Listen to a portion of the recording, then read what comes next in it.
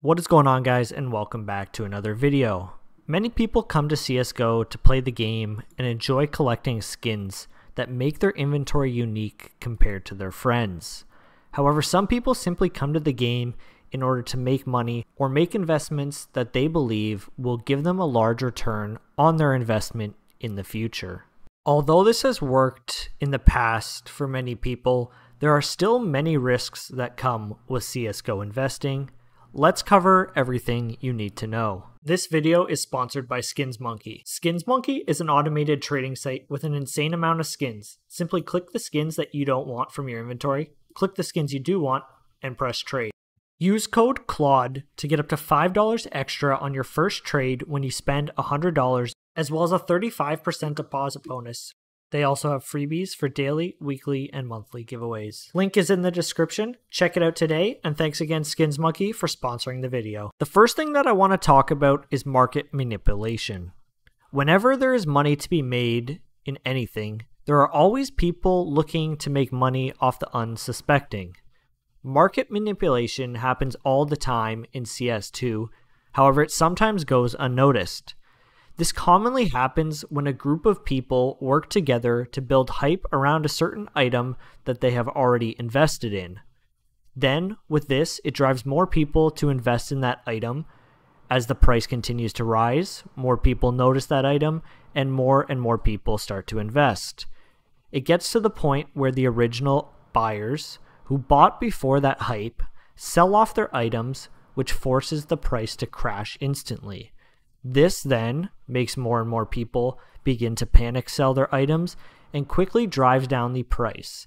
People trying to make back as much money as possible in order to not lose what they put in.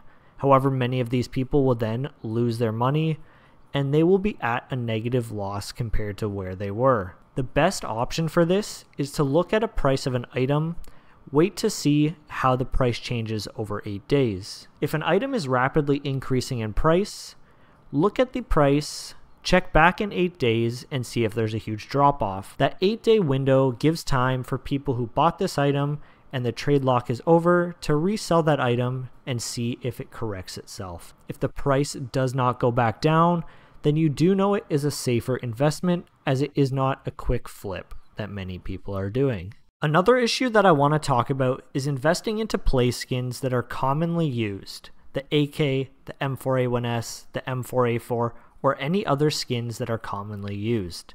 Weapons are always being balanced in CSGO or CS2, and this runs the risk of play skins losing a ton of value if that weapon you're invested in gets nerfed. We have seen in the past that M4A1S is meta, and then it switches to the M4A4 or vice versa. This can always ruin people's investments if they are heavily invested in one certain weapon. With the game always changing, we never know what the future holds for each weapon. That is why investing in play skins isn't always the greatest opportunity. The next thing I want to talk about is the gambling side of CS2. Opening cases or gambling on websites can affect the skins market and can affect many people's investments. People often turn to gambling when they lose out on money in hopes of bringing back money they have lost.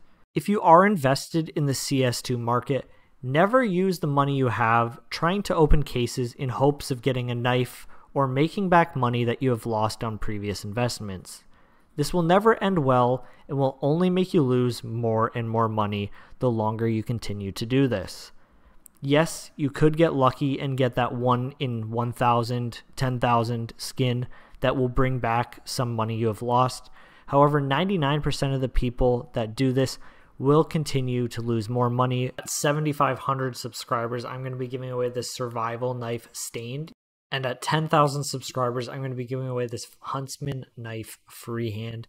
All you got to do, like, comment, and subscribe. Make sure your trade link or Steam ID is in the description of your YouTube channel. Now, let's continue on. The next thing I want to talk about is panic and fear. This is what drives many investors into the negative and separates the weak from the strong. A strong investor knows to only use money they are willing to lose, but also knows not to sell when others are fearful. In fact, the best investors do the opposite They buy when others are fearful and sell when other people get greedy. Never sell your item because the prices are going down. If there is a dip in the market, this is the time to buy in. Simply hold your items as we can hope they will recover over time, and when we do hit new highs, that is when you can sell off your item for a profit. The final point that I want to make is to be aware of scams. If you're already an investor or you're constantly building your inventory, more people might begin to offer you money or other items for your skins. If it sounds too good to be true, it is too good to be true. No matter how much someone tells you or shows you that you can trust them, never give in to these people. Thousands of dollars of skins are stolen every single day from people who don't understand or have never experienced it. You need to understand the safe ways to sell your skins when you are ready to sell your investments.